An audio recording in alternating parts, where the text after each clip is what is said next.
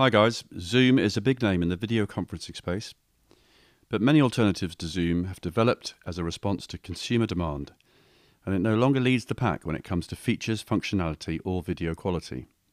There are some excellent Zoom alternatives on the market.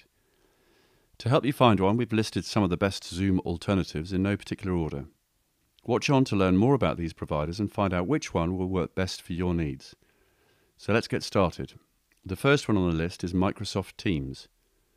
Microsoft Teams is a web conferencing and team collaboration platform best for teams using video conferencing platforms as their primary means of internal communication. Teams is designed to seamlessly work alongside other popular Microsoft Office tools like PowerPoint, OneDrive, SharePoint, and Outlook. Video meeting features like participant lists, shareable meeting recordings, and unlimited team chat file sharing are standard. Since anyone can access a Teams meeting without creating an account, it's the ideal platform for communicating with anyone outside your network.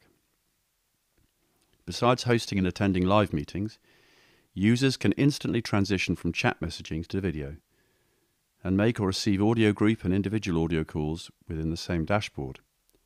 Recently, Teams added live meetings translation and AI powered caption stroke transcription, uniting international teams and clients. Teams has also completely redesigned its whiteboarding tool to add 41 pre made templates, including brainstorming sessions, problem solving meetings, project planning, design, and team workshops.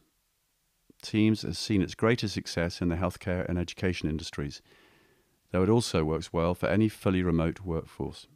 And for the pricing, Microsoft Teams offers four plans, including one free version, with paid versions ranging in price from $4 per user per month to $12.50 per user per month. Note the free version only allows for up to 100 participants to meet for a maximum of 60 minutes. However, there are some cons to using MS Teams. Alerts and notifications features need improvement. Current users complain of missed notifications. Some security protocols, like advanced ransomware and phishing protection, require a paid add on. Quick note my work supported by affiliate commissions, so if this video is helpful, you can find links in the description. If you click those links, I may earn a commission. That helps a lot. Thank you. Okay, let's, let's talk about Google Meet. Google Meet, an upgraded take on one of the earliest forms of video communication, Google Hangouts Meet, is a beginner friendly video calling tool for businesses that only need occasional video communication and prioritize ease of use.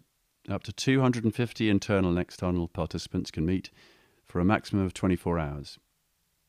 Users can join a Google Meet session in several ways via a shareable link, by clicking the New Meeting button on the Google Meet homepage, by entering an existing meeting code, or by scheduling an upcoming meeting directly in Google Calendar. Meetings can be joined directly at start time or while in progress.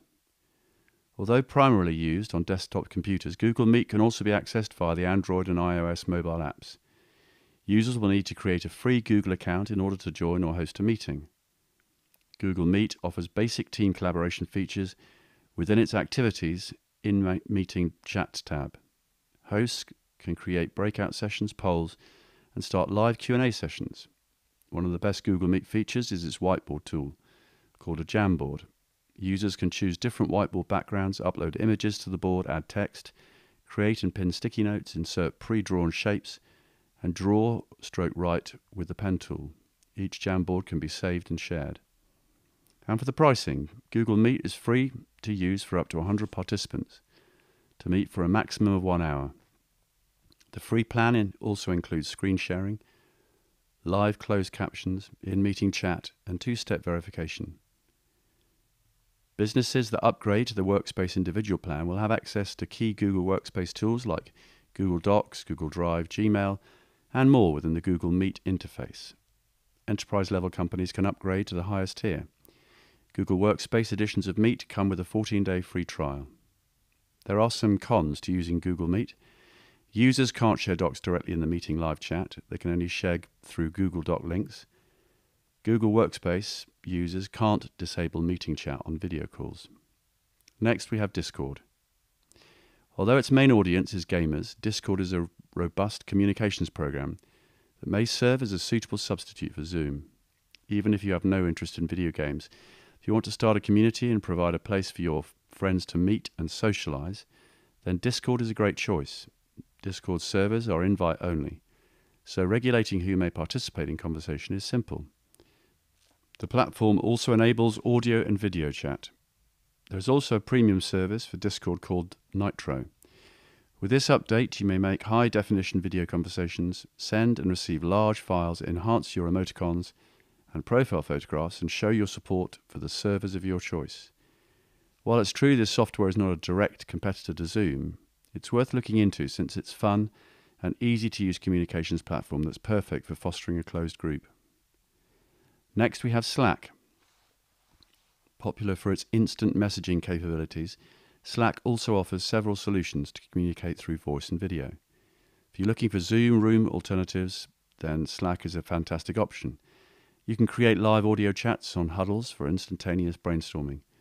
Even better, you may record your screen to demonstrate the features of your app to potential employees. The video conferencing feature in Slack are less advanced than those offered by competitors. However, if you only need a basic corporate messaging service, then go for Slack, which offers all the essentials. Next, we have Cisco WebEx. WebEx is a leading corporate video conferencing platform with a strong track record in executive settings. The platform lets you make crystal clear phone conversations, host video conferences, and use an instant messaging service with enhanced collaboration options. The WebEx app can improve your meetings with slideshows, emojis, background noise elimination, and real time translation. The WebEx suite includes all the app's functions and options for holding virtual events, employee surveys, simple staff administration. In addition, WebEx has enterprise grade security and is compatible with more than 100 third party applications. You can use Cisco's conferencing software at no cost for meetings of up to 100 participants lasting up to 40 minutes. The paid starter, business, and enterprise packages offer additional capabilities, including longer calls and more attendees. So, as you can see, Zoom isn't the only app out there. There are plenty of others, even beyond what we've listed here today. Some have features similar to Zoom's, others have a completely different set of features and functions. Like I said earlier, my work is supported by affiliate commissions, so if this video was helpful, you can check the links in the description, and that helps a lot. Thank you.